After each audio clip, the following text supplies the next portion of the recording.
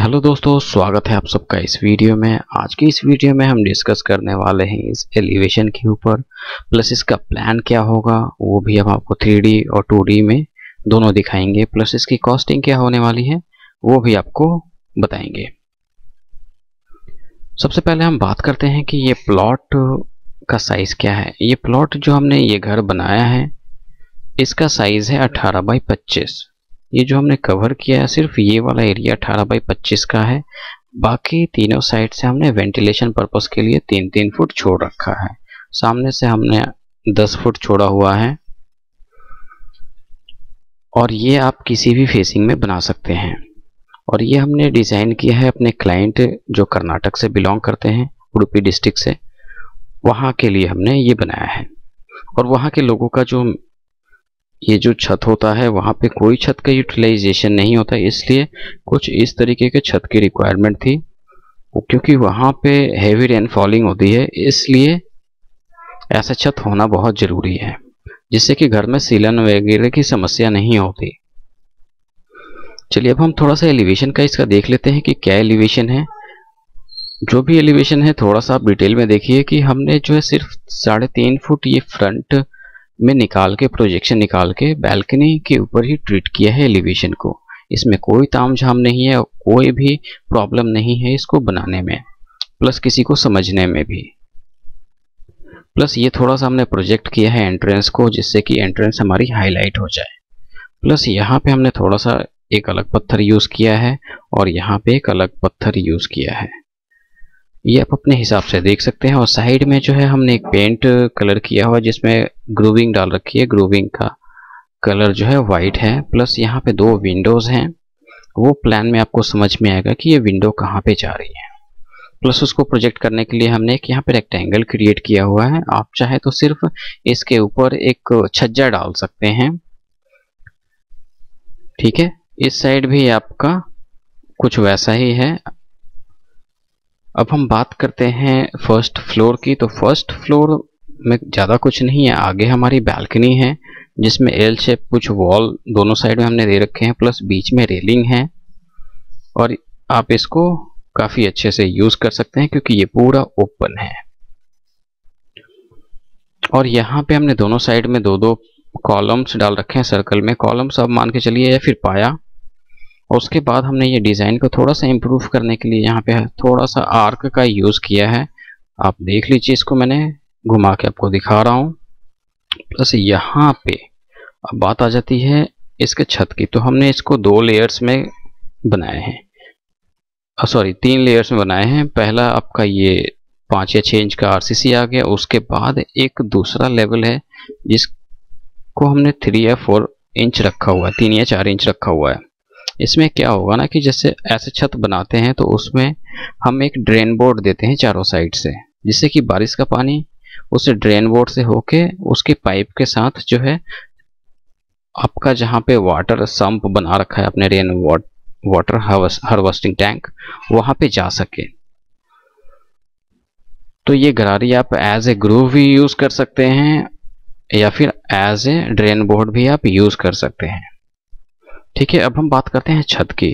तो छत का जो ऐसा टेपर, जो सलांट वाला जो छत होता है, ऐसा ज़्यादातर आपका, जैसे जहाँ पे पहाड़ी एरिया होते हैं, जैसे हमारा गुजरात से लेके या आपका केरला तक एक वेस्टर्न घाट पड़ता है पूरा। समुद्र के साइड साइड में पूरा वेस्टर्न घाट है।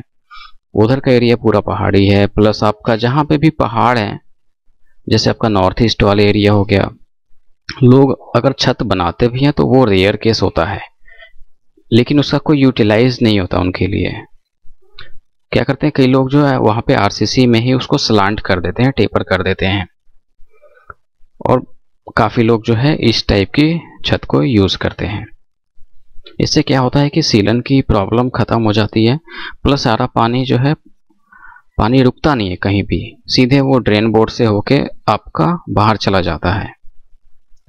प्लस उसके बाद हम बात करते हैं, एक हमने राइट साइड में एक बैल्कनी दी है, ये क्लाइंट के हिसाब से है। क्लाइंट की रिक्वायरमेंट के हिसाब से हमने ये दिया है यहाँ पे कि जो बीच वाला पार्ट होगा, ये पूरा एक छोटा सा गेट टुगेदर करने के लिए छोटी मोटी पार्टी करने के लिए चाहिए। तो इसलिए हमने कुछ इस तरीके से इसको डिज़ाइन किया है। आप देख सकते हैं। अब हम बात करेंगे इसके टू प्लान की, जो कि आपको पहले थ्री में मैं दिखाने वाला हूँ। दोस्तों, ये हमारा थ्री प्लान है, जिस एलिवेशन के बारे में हमने अभी आपसे डिस्कस किया, ये उसी प्लॉट का थ्री प्लान है। इसमें हम आपको काफ़ी सारी चीज़ें बताने वाले हैं। तो सबसे पहले हम देख लेते हैं कि क्या बताने वाले हैं। सबसे पहले हम इस प्लॉट के बारे में डिस्कस करेंगे। उसके बाद हम इसको रेंट पर्पस के हिसाब से कैसे फ्लोर टू फ्लोर बना सकते हैं। दूसरा पॉइंट तीसरा पॉइंट आपका कि अगर ये सिर्फ़ सामने से अगर ओपन हो तो हम इसको किस तरीके से डिज़ाइन कर सकते हैं। तो चलिए हम एंट्री से शुरू करते हैं। एंट्री हमारी यहाँ पे है। ये हमारी एक मेन एंट्री आ गई। उसके बाद हमारी ये सेकेंड एंट्री आ गई। ठीक है, उसके बाद हम एंटर करते हैं अपने लॉबी एरिया में। लॉबी का जो साइज़ है काफ़ी बड़ा है। ये साइज़ आपको टू में पता चलेगा। यहाँ पे हमने सोफ़ा सेटिंग दिया है और यहाँ पे हमने six seater dining table place किया है। आप चाहें तो यहाँ पे थ्री सीटर भी लगा फोर सीटर भी लगा सकते हैं। सामने आपका एलसीडी है। और यहाँ पे आपका किचन है। किचन का काउंटर कुछ इस तरीके से है। यहाँ पे अगर आपको किचन बढ़ाने की ज़रूरत पड़े तो आप ये वाला काउंटर को इंक्रीज कर सकते हैं। बढ़ा सकते हैं। पीछे आपका एक रूम है। रूम में एक अलमारी और एक एलसीडी आपको मिल जाता है। प्लस वेंटिलेशन की इसमें कमी नहीं है, क्योंकि चारों साइड से विंडो हम कहीं भी दे सकते हैं। ये हमारा एक कॉमन टॉयलेट है, जिसमें आप डब्ल्यू सी देख लीजिए, यहाँ पे है और यहाँ पे वॉश बेसिन है। इसमें आउटर वॉल्स जो है, वो नौ इंच के रखे हमने और इंटरनल सारे जो है, साढ़े चार इंच के रखे हैं। अब हम बात करते हैं कि इसको हम रेंट पर्पस के हिसाब से कैसे बना सकते हैं। तो इसको रेंट पर्पस के हिसाब से हम सेम डिज़ाइन रख के बना सकते हैं। जैसा कि मैंने बोला कि यहाँ पे एक मेन एंट्री है और सेकेंड एंट्री ये है। तो सेकेंड एंट्री जो है वो हमारी मेन एंट्री हो जाएगी पर फ्लोर के लिए। क्योंकि यहाँ पे आप गेट लगा के इसको प्राइवेट कर सकते हैं और ये आपका पूरा जो पार्ट होगा ये कॉमन हो जाएगा। क्योंकि सीढ़ी भी आपको कॉमन तरीके से एक सेपरेटली जा रही है और ये हर फ्लोर पर किसी को डिस्टर्ब किए बिना जा रही है। ठीक है तो आप इस तरीके से रेंट पर्पस के हिसाब से बना सकते हैं। चलिए, अब हम बात करते हैं कि अगर आपका सामने से सिर्फ़ ओपन हो, चारों साइड और तीनों साइड से बंद हो तो आप उस तरीके उस सिचुएशन में क्या करेंगे? उस सिचुएशन में आप, ये टॉयलेट आप देख रहे हैं, यहाँ पे आपको ये पूरा ये लेंथ है ये दस या नौ फुट का पूरा लेंथ है, यहाँ पे आपको तीन फुट का पूरा एक शाफ्ट छोड़ना पड़ेगा, जिससे क्या होगा कि इस रूम को थोड़ी बहुत वेंटिलेशन मिल जाएगी और इस बाथरूम को भी वेंटिलेशन मिल जाएगी। बाकी जो पार्ट्स हैं, उन सबको थोड़ी बहुत वेंटिलेशन कहीं ना कहीं से मिल रही है। इस पूरे, इस वाले पार्ट को जो है, इधर किचन साइड से वेंटिलेशन मिल रही है। प्लस इस ड्राइंग वाले जो पार्ट को है, यहाँ पे सीढ़ी के नीचे आप, सीढ़ी के नीचे आप विंडो दे सकते हैं, यहाँ पे स्पेस है। तो इस तरीके से आप, दो तीन तरीके से आप बना सकते हैं इस प्लान को।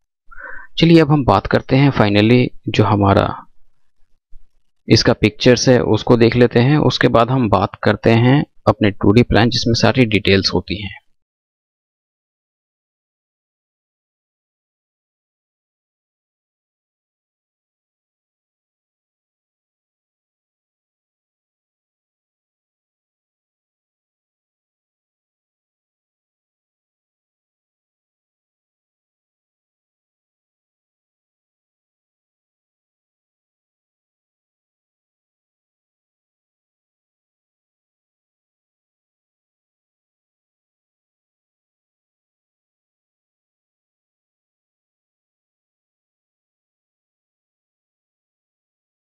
दोस्तों, ये हमारा टू प्लान है, जिसमें मैं आपको सारी डिटेल साइजेस कॉलम प्लेसमेंट वगैरह बताने वाला हूँ। जो मैंने अभी आपको कॉस्टिंग बताई, वो कॉस्टिंग जो है स्टेट के हिसाब से हर स्टेट में अलग अलग रेट का हो सकता है। इस चीज़ को आप पर्सनली ना लें, क्योंकि हर जगह कई स्टेट में कहीं पे कोई चीज़ सस्ती हो सकती है, कोई चीज़ महँगी हो सकती है। कहीं पे लेबर महँगा हो सकता है, कहीं पे मटेरियल महँगा हो सकता है। तो ये सारी चीज़ें एक जैसी नहीं हो सकती। इसलिए आप इस चीज़ को अपने नियर बाय जो भी घर बना रहा है, आप उससे कुछ आइडिया ले सकते हैं। वो कुछ आपको गाइड कर सकता है कि क्या कॉस्ट पड़ा उस बंदे को।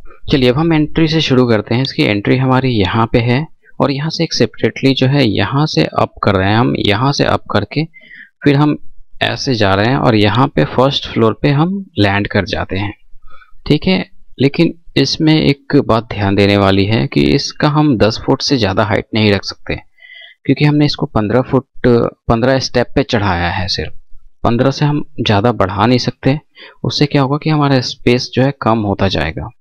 इस सीढ़ी की विर्थ जो है वो ढाई फुट की है, ढाई बाई ढाई की ये लैंडिंग है, और ये जो एक स्टेप का जो यहाँ से यहाँ तक साइज़ है वो हम 10 देते हैं ना, लेकिन यहाँ पे ये 9 इंच है। 9 इंच भी कंफर्टेबल होती है। ठीक है तो यहाँ से हम एंट्री करते हैं अपने डाइनिंग पार्ट में। डाइनिंग और ड्राइंग एरिया हमारा यही है। ठीक है, जिसका साइज़ है 16 foot 6 inch by 8 foot 9 inch का ये साइज़ है। आप यहाँ पे भी देख सकते हैं और यहाँ पे भी देख सकते हैं।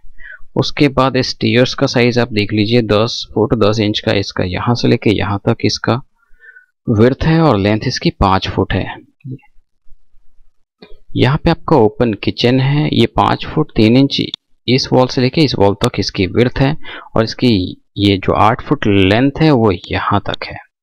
आप चाहे तो इसको बढ़ा सकते हैं थ्री में मैंने आपको सिक्स सीटर दिखाया है, यहाँ पे फोर सीटर ये मैटर नहीं करता। आपको जो रखना है आप रख सकते हैं, उस हिसाब से थोड़ी बहुत चीज़ें एडजस्ट होंगी। यहाँ पे आपका एलसीडी आ जाएगा। आप फोर सीटर को इधर रोटेट करके भी रख सकते हैं दूसरे साइज़ में। ठीक है? अब हम बात करते हैं बेडरूम की। तो बेडरूम का साइज़ जो आप देख लीजिए 12 फुट बाय 9 फुट का है। काफ़ी अच्छा साइज़ है। इसमें आपको यहाँ पे अलमारी मिल जाती है। यहाँ पे आपको सॉरी यहाँ पे आपको एक एलसीडी मिल जाता है। ये आपका एक कॉमन टॉयलेट है। कॉमन टॉयलेट का पोजीशनिंग आप अपने हिसाब से कर सकते हैं। इसका साइज़ है चार फुट एक इंच, डेढ़ इंच एक्चुअली में, लेकिन हम डेढ़ इंच, आधा इंच को उसको यहाँ पे दिखाते हैं, लेकिन यहाँ पे हम नहीं दिखा पाते। इसलिए उसके लिए आधे इंच के लिए कोई प्रॉब्लम नहीं है। इसलिए आप इसको चार फुट भी मान सकते हैं। चार फुट एक इंच बाय नौ फुट का ये टॉयलेट है। चलिए अब हम बात करते हैं कि अगर आप सिर्फ़ सिंगल फेस में अगर प्लॉट हो तो आप यहाँ पे, ये पूरा आपका शाफ्ट बन सकता है। यहाँ से इस रूम को और इस टॉयलेट को वेंटिलेशन मिलेगा, ठीक है? ये सारी चीज़ें आपको समझ में आ गई होंगी। अब हम बात करते हैं कॉलम की। तो कॉलम की कहाँ कहाँ पे प्लेसमेंट करें?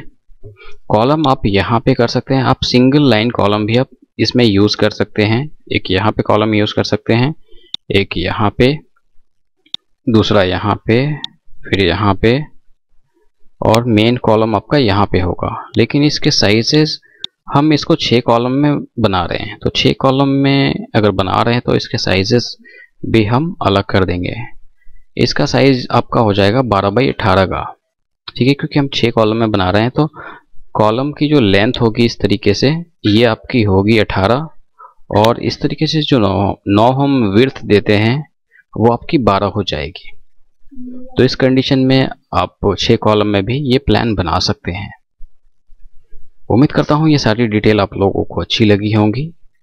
इस वीडियो को ज़्यादा से ज़्यादा शेयर कीजिए जिससे किसी की हेल्प हो सके। वीडियो देखने के लिए धन्यवाद।